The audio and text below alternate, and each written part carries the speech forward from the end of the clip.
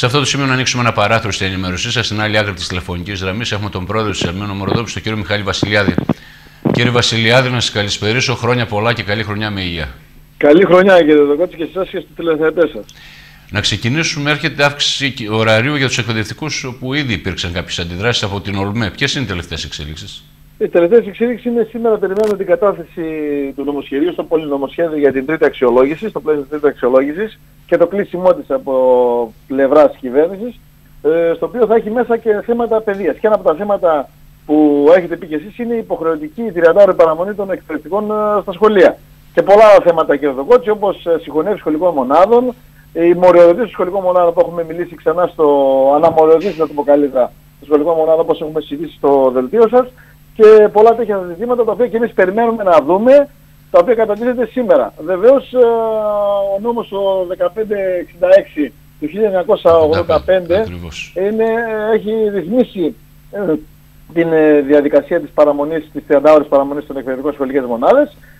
Και νομίζω ότι θα πρέπει να δούμε καλύτερα και στα γραφόμενα διότι έχουμε συνηθίσει εμείς από τον Υπουργό αλλά να μας λέει και άλλα τελικά να αποφασίζει ε, και να πάρουμε και εμείς την άποψή μας και τη θέση μας. Επί του πρακτέου τι σημαίνει, τι σημαίνει Επί του πρακτέου σημαίνει ότι, κοιτάξτε, ε, σημαίνει το εξής, ότι αν υπάρχει υποχρεωτική 30 ώρες παραμονή των εκπαιδευτικών στις σχολικές μονάδες, αν και σας έχω πει ότι ο νόμος 1566 το 85 το έχει λύσει το θέμα ναι, ναι. αυτό, θα υπάρχει θέμα όσον αφορά την ε, εκπαιδευτική διαδικασία, διότι ε, σας υπενθυμίζουμε και εσάς αλλά και στους τηλεθεατές σας τις άλθιες συνθήκες οι οποίες ε, καλούνται οι εκπαιδευτικοί να εργαστούν στα δημόσια σχολεία για την υπαρξία ειδικών χώρων, γραφείων, έτσι ώστε να μπορέσει ο εκπαιδευτικός να εργαστεί προκειμένου να προετοιμάσει και το μάθημά του, να διαρθώσει τις εργασίες, τα διαγωνίσματα κτλ. Ε, είναι βεβαίως ε, σε όλους τη σπάσια εδώ γνωστό ότι τα γραφεία των καθηγητών δεν πλήρουν τις προϋποθέσεις εκείνες έτσι ώστε όλοι να παραμένουν και να εργάζονται ε, όπως θέλουν και όπως πρέπει. Και θα δώσω ένα παράδειγμα ότι στον ευρύτερο δημόσιο τομέα κάθε ε, εργαζόμενο στο δημόσιο τομέα έχει το δικό του γραφείο και το δικό του υπολογιστή. Αυτό το πράγμα στα σχολεία, τα δημόσια της τροφάνης εκπαίδευσης και το δικό της δεν θα το δείτε. Μιλάμε για ένα σύλλογο 30-35 ατόμων και έχουμε δύο υπολογιστές, τρεις υπολογιστές. Οπότε ελάτε πείτε μου εσείς πώς θα μπορέσει ο εκπαιδευτικός ή η εκπαιδευτική της σχολικής, της συγκεκριμένης σχολικής μονάδας που θα πάμε να δούμε, αν θα μπορέσουν να επιτελέσουν το έργο τους στις συνθήκες της σημερινής εποχής, της νέας τεχνολογίας και των νέων ε, μέσων ε, και των νέων του, ε, της πληροφορίας και της εκπαίδευσης. Δηλαδή να μπορέσουμε όλα αυτά να τα συνδυάσουμε.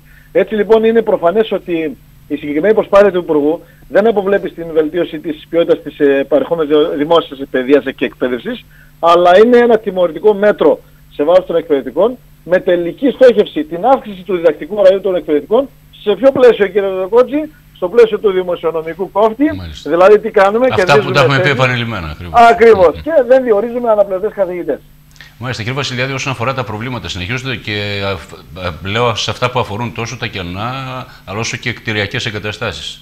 Ναι, τα κενά, ε, όπως έχουμε πει, κατά το μέγιστο δυνατό έχουν καλυφθεί ε, εκτός ειδικών περιπτώσεων και ακόμα μέχρι και χθες ε, το Υπουργείο Παιδείας ε, συγγνώμη, την προηγούμενη εβδομάδα το Υπουργείο Παιδείας διόρισε αναπληρωτές ε, και σήμερα βγήκαν τα ονόματα περίπου 430 αναπληρωτές σε όλες τις ειδικότητες. Οπότε καταλαβαίνετε ότι η διαδικασία, όπως έχουμε πει και από το δελτίο σας, των ε, κενών είναι μια δυναμική διαδικασία. Τα κενά έρχονται ανά πάσα στιγμή. Όμως ε, γενικότερα στις γενικές, ε, στις γενικές ειδικότητες είναι τα κενά έχουν καλυφθεί.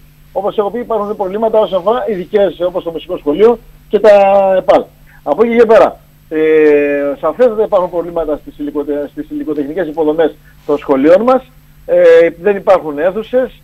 Ε, τα παιδιά πλέον ε, και από εκεί το Υπουργείο Παιδείας νομίζω ότι και μέσα στο νομοσχέδιο αυτό ίσως θα βάλει και θέμα της, ε, του αριθμού μαθητών σε κάθε τάξη. Ε, συνοστίζονται σε 30, 20, από 27 και 30 και 32 ακόμα μαθητές σε κάθε τάξη. Οπότε καταλαβαίνετε ότι εδώ πλέον ξαναέρχεται το, το αίτημα για την uh, δημιουργία του 5ου Γυμνασίου Κομωτινής, αν και είναι ειδημένο στο ΣΟΘΕΚ, αλλά να αρχίσουμε το 5ο Γυμνάσιο Κομωτινής, αλλά και το 4ο ΓΕΛ Κομωτινής, να μπορέσουμε να έχουμε μια καλύτερη υλικοτεχνική υποδομή για την uh, εκπαίδευση. Κύριε Βασιλιάδη, τελειώνοντα όσον αφορά τις τοπικές ΕΛΜΕ, όπως και αυτή βέβαια του νομού Ροδόπης, ε, θα υπάρξουν εξελίξεις αυτές τις μέρες, ναι, υπάρχουν κάποιες γενικές συνελεύσεις; Είναι ακριβώς, είναι, είμαστε ήδη μετά τις γιορτές, ε, από την προηγούμενη εβδομάδα η ΟΛΜΕ ε, προτείνει και κατέβασε στον κλάδο γενικές συνελεύσεις στο πλαίσιο όλων αυτών που έχουμε διαβάσει και πει όσο αφορά για, το, για την τρίτη αξιολόγηση και τα προαπαιτούμενα τα οποία καταδίδεται μέσω της εργαλειοθήκης του ΟΣΑ. Πάμε συνεπώς αυτή την εβδομάδα από σήμερα μέχρι και την Παρασκευή Γενικές Συνελεύσεις των ΕΛΜΕ της χώρας.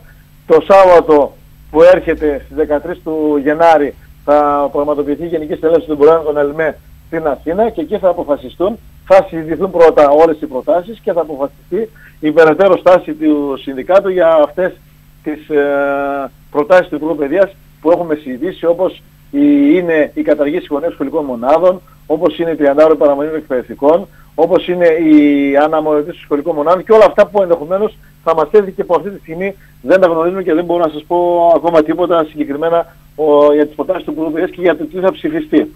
Ο ψώματα λοιπόν τις επόμενες μέρες. Ακριβώς. Μάλιστα. Κύριε Βασιλιάδη, να σας ευχαριστήσω πάρα πολύ. Καλώς σας καλά. Καλό βράδυ.